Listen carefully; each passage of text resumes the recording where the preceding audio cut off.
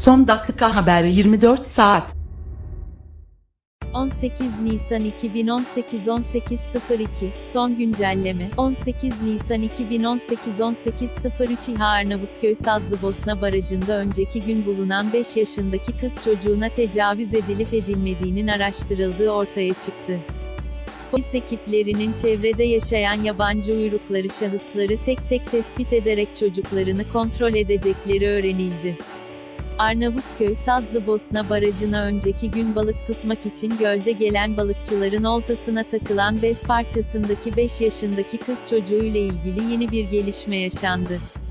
Adli Tıp Kurumu'nda yapılan incelemesinde iki gün önce öldürüldüğü belirlenen çocuğun vücudunun çeşitli yerlerinde darp izine rastlandığı tespit edilmişti. Kayıp başvurusunda bulunulmayan çocuk için harekete geçen polis ekiplerinin, kız çocuğuna tecavüz edilip edilmediği yönünde araştırma yaptığı öğrenildi. Yabancı uyruklu ailelerin çocukları tek tek kontrol edilecek öte yandan, polis ekiplerinin çocuğun cesedinin bulunduğu çevredeki yabancı uyruklu aileleri tek tek tespit ederek çocuğu tanıyıp tanımadıklarını sorgulayacakları öğrenildi.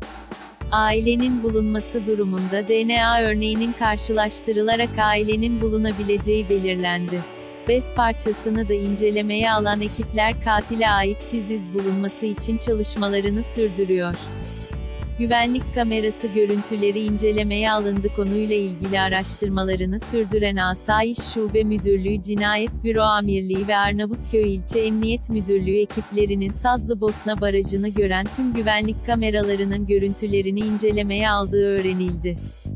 Bu habere ifade bırak sıfır mutluyum sıfır şaşkınım sıfır kararsızım bir kızgınım sıfır üzgünüm toplam oy bir etiketler Arnavutköy çocuk cesedi.